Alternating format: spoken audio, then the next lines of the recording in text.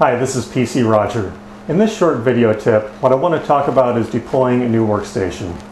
Now here I have a brand new Dell Precision T3400 workstation, and it's an excellent unit.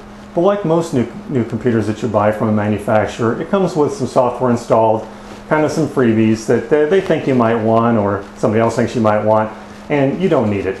So I actually uninstalled quite a few things, a list of which I've got on a blog post, but I clean off everything that we're not going to use. And then I start installing those pieces of software that we will use.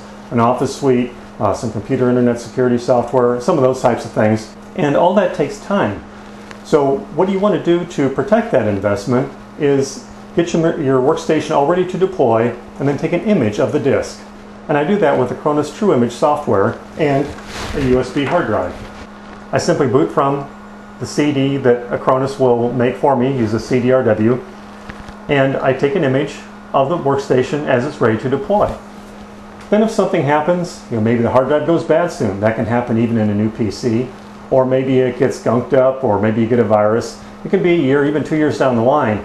This image makes it real easy to restore to factory new condition, plus your, enhan your enhancements that you've done to the machine, and it protects your investment of time. And it certainly is worth it. Time is money, and uh, it comes in very handy on a variety of situations.